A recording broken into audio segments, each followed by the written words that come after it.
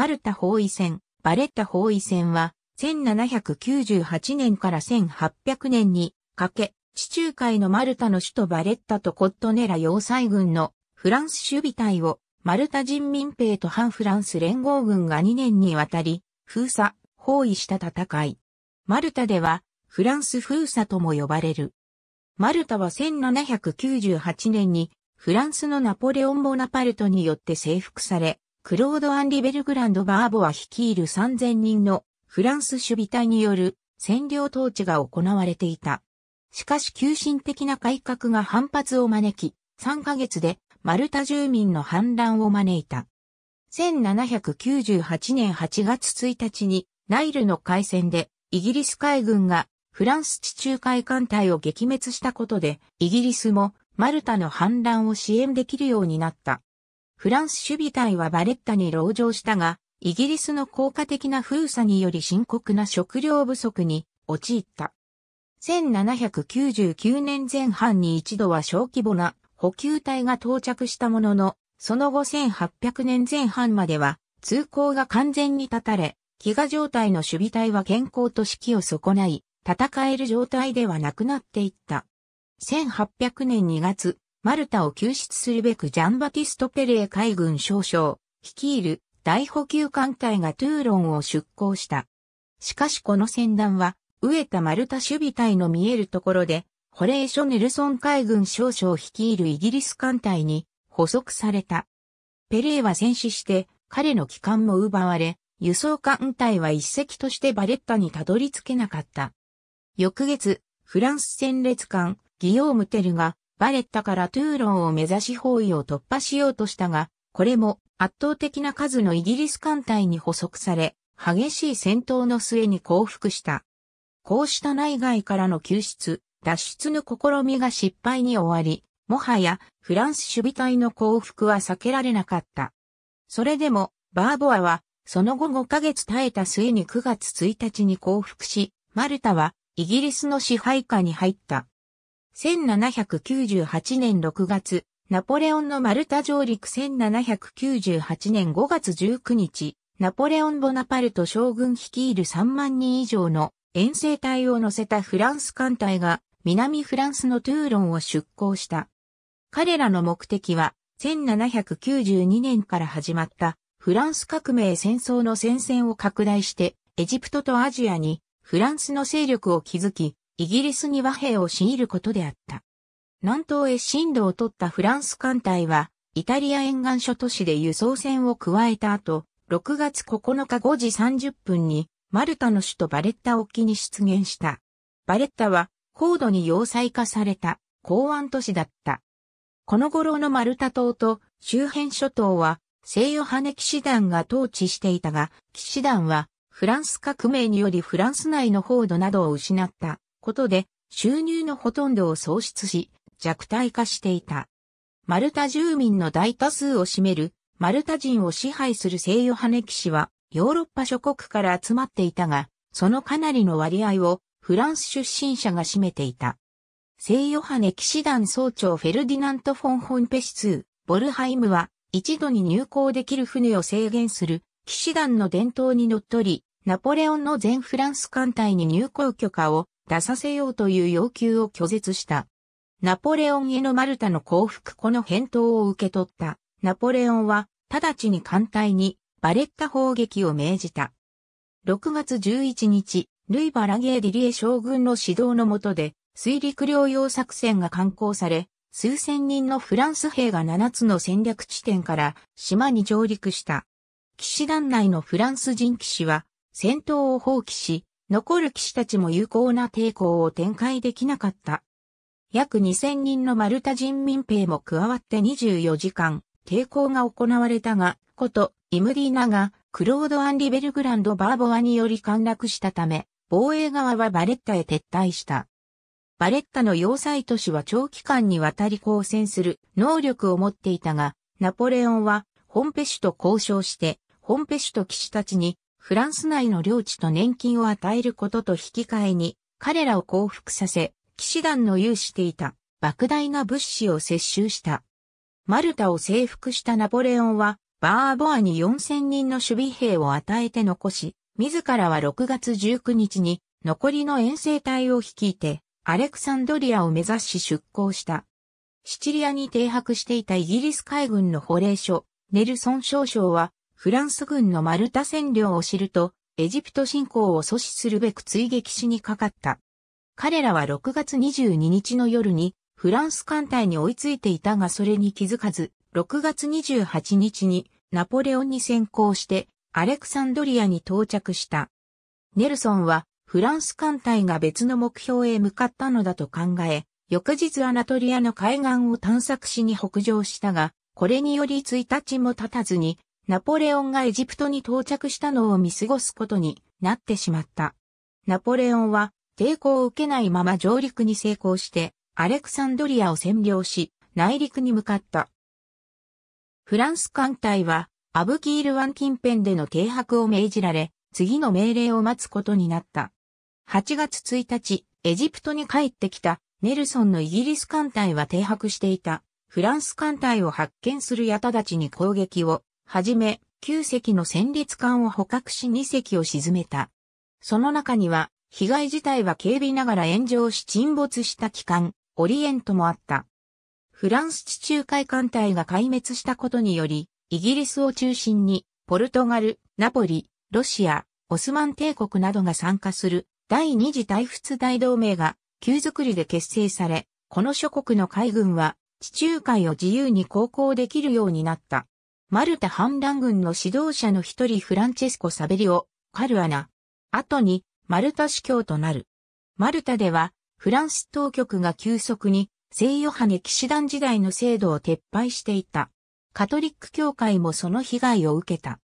教会の財産はフランス軍のエジプト遠征費用に充てるため略奪され、敬虔なマルタ人の怒りを買った。9月2日、教会財産が競売にかけられるに至り、マルタ人の不満が爆発した。数日のうちに数千人のマルタ人非正規兵が集結してフランス守備隊をバレッタへ追い込んだ。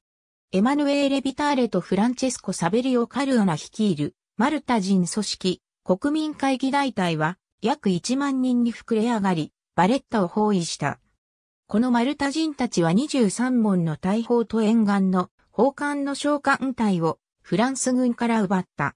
フランス守備隊とマルタ人は断続的に小競り合いを繰り返したものの、要塞軍はあまりにも頑強で、マルタ民兵の手に負えなかった。9月中旬、反乱に味方するポルトガル艦隊がマルタ島にやってきた。ニザ公爵ドミンゴス・ザベール・デ・リーマ率いる、この艦隊の内訳は、戦列艦ダ・コンセイサン、ライーニャ・ダ・プルトゥガル、サンセバスティアン、アホンソデ、アルブケルケ、ブリーク艦、IID イコール NWF 北を愛となっている。またこの艦隊には、イギリス海軍から戦列艦 HMS ライオンと河川 HMS インセンダイアリーが合流していた。このポルトガル艦隊は、ネルソンの要請により、ポルトガル政府が定女から派遣してきたものだった。艦隊はマルタに一旦停泊した後、アレクサンドリアへ向かった。ネルソンはこれをマルタに送り返し、フランス守備隊の封鎖に当たらせた。9月下旬、ジェームズ・ソーマレズ大佐率いるボロボロのイギリス艦隊13隻がマルタ島に到着した。これはナイルの海戦で損傷した書簡で緊急修理を必要としており、包囲戦を直接支援することはできない状態だった。しかしソーマレズは9月25日にマルタ人の代表と面会し、ついで彼らの代理としてフランス守備隊のバーボアに休戦を持ちかけに行った。対するバーボアは、あなたはフランスがこの地を保持していることを忘れておられるようだ。住民たちの運命はあなたとは無関係だ。あなたの最終通告にしたって、フランス戦士たちはそんなスタイルには慣れていないのだと返答した。フランス軍への降伏勧告が不守備に終わると、ソーマレズは代わりに、マルタ人勢力に1200丁のマスケット銃を提供し、包囲を続けさせた。ソーマレズ艦隊もこれ以上修理を遅らせるわけにはいかなかったため、月末までにジブラルタルへ去っていった。10月12日、イギリスの戦列艦 HMS、アレグザンダー、HMS カローデン、HMS コロッサスがニザ港の艦隊に合流し、封鎖が完成した。同日、バーボアはバレッタ新市街から最後の守備隊を引き上げた。この時、フランス軍への参加を希望した約100人のマルタ人民兵も同行した。この時点で、フランス守備隊は3000人以上数を得、物資も潤沢だった。また、フランス陣営には、聖ヨハネ騎士団から接収した戦列艦、デゴ、アテニエン、フリゲート艦カーサジノースに加え、ナイルの海戦で生き残り9月末にマルタに帰ってきたピエール・ビルヌーブ少将率いる戦列艦、ギヨームテル、フリーゲート艦、ジュスティス、ディアヌからなる艦隊も駐留していた。10月24日、ナポリで10日間を過ごしていたネルソン率いる戦列艦バンガード、マイノーターがマルタ封鎖に参加した。10月28日、ボールがマルタ島北西のゴゾ島にいたフランス守備隊との交渉に成功し、217人のフランス兵が戦闘を経ず降伏した。ゴゾ島と要塞、大砲24門、莫大な弾薬、小麦粉3200袋がイギリス軍の手に渡った。公式にはナポリ王国がゴゾ島の領有を宣言したものの、実際にはイギリスとマルタ人住民の代表が統治を行った。彼らの最初の政策は、フランス軍から獲得した食料を1万6千人の島民に分配することだった。マルタや周辺の諸島は自給自足できる環境ではなく、また多くの軍員がいる状態になったため、マルタの食料情勢は逼迫していた。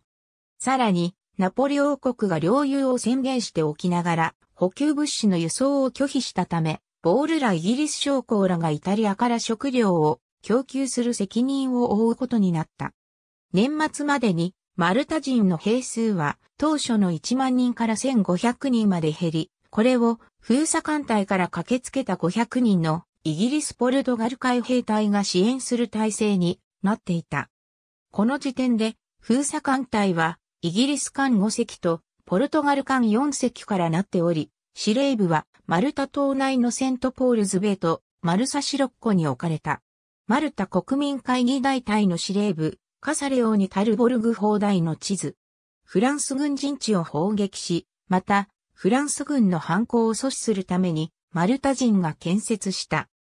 1799年は、包囲を続ける、イギリス軍やマルタ人にとって、フラストレーションが溜まる年となった。イギリス軍は、包囲を完遂するためたびたび大規模な増援を要請していたが、その度に却下されていた。地中海のイギリス陸軍を指揮するジェームズ・セント・クレア・アースキン少将は、ボールによるマルタ包囲よりも、イタリア半島での第二次対仏大同盟戦争とメノルカ島防衛を重視しており、大陸でフランスに敗北を喫したナポリも支援を拒否し続けていた。1月、ヒョードル・ウシャコフ率いるロシア艦隊が一時的にマルタ沖に現れたが、間もなくロシアオスマン軍によるコルフ島包囲のため、去ってしまった。イギリス・ポルトガル連合軍とマルタ人が食料調達に苦労する一方で、フランス側は1799年前半のうちに何度か包囲を突破して補給物資を搬入することに成功していた。1月、アンコーナから来たスクーナー一隻がバレッタに入港した。2月にはトゥーロンから補給物資を積んだフリゲート艦ボーデウセが到着し、包囲網をすり抜けて入港した。5月、エティエンヌ・ユースタシュ・ブリュイ提督率いるフランスの大艦隊が西地中海に侵入するに至り、ネルソンはマルタ包囲に参加している者も含めて、地中海に散らばっていた艦隊を集結せざるを得なくなった。この間、フランスは包囲網が薄くなったマルタのバレッタに比較的容易に補給船を送り込むことができた。しかしこうしたたびたびの補給の成功にもかかわらず、フランス守備隊の食料は急速に底をつき始めていた。物資節約のため、フランス軍はバレッタから市民を追い出すことにした。1799年の時点で4万5千人いたバレッタの人口は1800年には9千人まで減った。包囲戦の名目上の司令官はネルソンだったが、実際には国民会議大隊の司令官となったボールが指揮を取っていた。マルタ人の間には食糧難により疫病が流行り始めていたため、ボールはマルタの軍と民兵司令官の連絡網を通じ、補給物資の分配を指示した。その後ボールは、次官アレグザンダーに戻り、主席副官のウィリアム・ハリントンが後を受け継いだ11月1日、ネルソンは改めてフランス守備隊に降伏を勧告したが、バーボアは、我々は、あなた方が我が国に対するようにあなたの国の権威を得ることを熱望しており、最後まで要塞を守り抜く決意は、固いと返答した。この時、ネルソンは、パレルモのナポリ宮廷におり、遠隔の地から包囲戦を指揮していた。しかし彼はこの地で、ギャンブルや社交に明け暮れ、中ナポリ大使、ウィリアム・ダグラス・ハミルトンの夫人エマ・ハミルトンと愛人関係になった。こうしたネルソンの行動は、最近セント・ヴィンセント教から変わった上官のジョージ、エルフィンストーン中将のみならず、トーマス・トラウブリッジら旧友にも非難されるところとなった。トラウブリッジはネルソンに対し、もし君が友の君に対する感情を理解しているなら、君は必ずや夜のパーティーを止めてくれるだろうと思っている。私は閣下にやめるよう懇願しているのだ。と書き送っている。1799年12月、アースキンに代わり、地中海のイギリス陸軍を掌握したヘンリー・エドワード・フォックス中将は、直ちにトマス・グラハム准将率いる800人の部隊をメッシーナからマルタに回した。これはリスボンへの帰還命令が出ていたポルトガル軍の後を埋める措置だった。一方バレッタ市内では食料を不足に伴い疫病が広まり始めた。フランスでブルメール18日のクーデターが起こり、ナポレオンが第一統領に就任したというニュースは、1800年1月に通報艦が到着したことでようやくマルタの守備隊の知るところとなった。これを受け、バーボアは悪状喧嘩においても決して降伏しないという声明を出した。1799年にナポリ機関を果たしていたナポリ王国政府は1800年2月初頭にようやくマルタ包囲への参加を承諾した。エルフィンストーンの機関 HMS クイーン・シャーロットに従う艦隊2200人のナポリ兵が乗り込み、マルタに上陸した。この後しばらくエルフィンストーンとネルソンは、マルタ封鎖艦隊にとどまった。この時点で、封鎖艦隊は、イギリスの戦列艦6隻、ナポリの戦列艦数隻、両国のフリゲート艦数隻で構成されていた。2月17日、シチリア沖で、フランス艦隊の動きを監視していた、フリーゲート艦 HMS サクセス艦長、シュルダムピアードから、マルタに6、7隻のフランス艦隊が向かっており、それを尾行しているという報告が届いた。このフランス艦隊は、トゥーロンからマルタ救援に向かっていたもので、膨大な食料と3000人の兵を乗せていた。ジャンバティスト・ペレー少将率いる機関ジェネリューは、2年前のナイルの海戦で生き残った一隻だった。2月18日、マルタのイギリス艦、アレグザンダーの見張りが、フランス艦隊を発見した。フリゲート艦サクセスは、フランス艦隊を追撃して、輸送艦を捕獲した後、格上のジェネリューに攻撃を仕掛けた。サクセスも停滞反撃を受けたものの、その2回目の片原制車で、ペレーが致命傷を負ったため、ジェネリューは観測が鈍り、ネルソン率いる HMS フードロヤントと HMS ノーサンバーランドに追いつかれてしまった。圧倒的劣勢に立たされたジェネリューは降伏した。ギヨームテルの捕獲、ジェネリューが捕獲されて間もなく、エルフィンストーンはクイーンシャーロットに乗ってイタリア沿岸へ帰った。しかしエルフィンストーンが岸に降りている間に火事が起き、彼の帰還は700人の兵の命と共に失われた。出発する前、エルフィンストーンはネルソンにパレルモへ戻らぬよう、シチリアに帰るとしても、白草までだときつく言いつけていた。しかしネルソンはこの命令を無視して3月下旬までには、パレルモに帰り、公然とエマ・ハミルトンと交際していた。ネルソン不在中はトラウブリッジが封鎖艦隊を指揮し、トラウブリッジはさらに一時的にマンディ・ディクソン大佐に指揮を委ねた。5月31日、デクレ率いるフランスの戦列艦、ギヨーム・テルがマルタの封鎖を突破し、バレッタに入ろうとした際、マンディ・ディクソンは艦隊を率いて、応戦に向かった。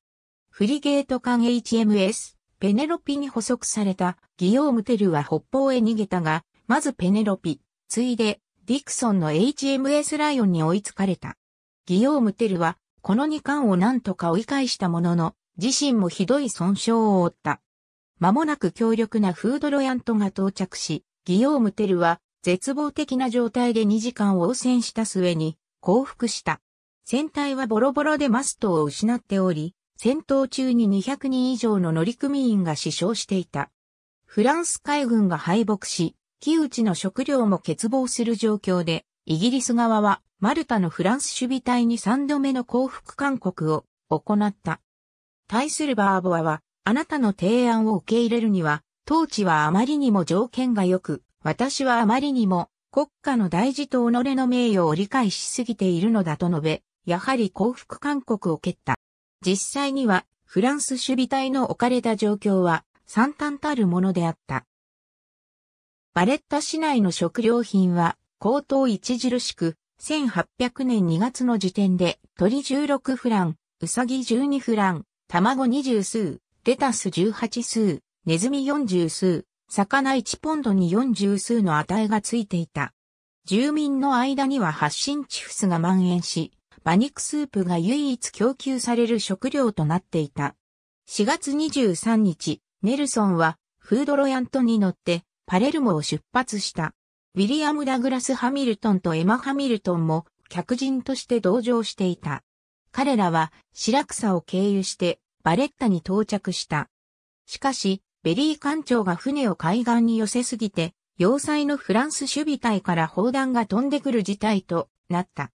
弾が船に命中することはなかったが、ネルソンはエマ・ハミルトンを危険にさらしたことで怒り狂い、直ちにベリーに交代を命じた。エマが後甲板からの避難を拒否したことで、ネルソンの怒りはさらに激しくなった。フードロヤントはマルサシロッコに錨を下ろし、そこでトラウブリッジとグラハムを主人役としながら、ネルソンとエマは公然と生活を共にしていた。一方古物収集家で外交官のウィリアム・ハミルトンは、もっぱらマルタ島の探検に時間を費やした。6月初旬、ネルソン一行はパレルモに戻り、陸路ヨーロッパを長々と縦断してイギリスに帰った。ネルソンはまたもエルフィンストーンの明確な命令を無視して、フードロヤントとアレグザンダーをマルタ封鎖の任務から外し、ナポレオ家がリボルノへ向かう際の護衛に当てた。ネルソンの不服従に対するエルフィンストーンの奮撃は、ハミルトン城が艦隊を指揮しているのは、毛沢山だと公言するほどであった。5月、トラウブリッジがイギリスに戻って、ジョージ・マーティン海軍大佐と交代し、グラハムもヘンリー・ピゴット陸軍少将と交代した。イギリス海軍によるバレッタへの補給の遮断は1800年夏まで続き、8月の時点でフランス守備隊の状況は絶望的であった。もはや馬や、化け物、犬、猫、鳥は残っておらず、ウサギがわずかに市内に生息しており、貯水槽は空になっていた。焚き木すら突きかけていたため、守備兵がフリゲート艦ボーデウセを解体して燃料にするありさまだった。もはや敗北は必死となり、バーボアはフリーゲート艦ディアヌとジュスティスにそれぞれ約115人という最小限の人員を乗せ、トゥーロンに向け包囲突破を図らせた。8月24日夜、両艦は良い風が吹いたのを狙って野に紛れ脱出を試みたが、間もなくイギリス艦サクセスの物見に発見された。サクセスのピアード艦長は直ちに追撃を命じ、ジェネルート・ノーサンバーランドが後に続いた。ソレン艦長を率いるディアヌは船足が遅く、たちまちサクセスに追いつかれ、数回砲撃を交わしたところで降伏した。後に、ディアヌは、イギリス海軍のフリーゲート艦ニオベとなった。一方、ジャン・ビルビーヌ艦長率いるジュスティスは、追撃を振り切り、トゥーロンにたどり着いた。包囲戦中、マルタから封鎖を突破して帰還できた船は、この一隻のみだった。9月3日、飢餓と疫病による死者が1日100人を超えるに至り、バーボアは将校を集めて協議し、満場一致で降伏することを決めた。翌日イギリス陣営に死者が派遣され、午後にピゴットとマーティンが、バーボアとビルヌーブの協定案に署名した。交渉においては、マルタ人は、蚊帳の外に置かれていたが、彼らの司令官を務めていた、アレクサンダー・ボールが、初代シビルカミーションに任じられた。フランス守備隊の降伏は無条件降伏と言えるものだった。マルタ島、その続島、要塞軍、軍需物資はすべてイギリスの手に渡った。その中には、戦列艦、アテニェン、テゴ、フリゲート艦カーサジニツが含まれていたが、そのうちアテニェンだけがイギリス海軍に編入され、残りは解体された。またイギリスは、その他2隻の商船と様々な軍艦を獲得した。マルタを獲得したイギリスは、地中海中央部を支配できるようになり、1801年にエジプトをフランスから奪還する際にもマルタが重要基地とされた。同年にフランス革命戦争を終結させるため結ばれたアミアンの和訳でイギリスはマルタから撤退することが定められたが、イギリスはこの内容に不満であり、間もなくナポレオン戦争が勃発する原因の一つにもなった。名目上の西洋派に騎士団総長を務めていた、ロシア皇帝アレクサンドル一世は、長きにわたりマルタ島の領有を主張しており、イギリスと同盟する際には、その活情を前提条件として要求した。しかし、イギリス首相ショーピットが、にべもなく拒否すると、ロシア側は譲歩してこの条件をつけず反フランス、同盟を結ぶことに同意した。マルタは、その後イギリスの長い統治期を経て、1964年に独立した。ありがとうございます。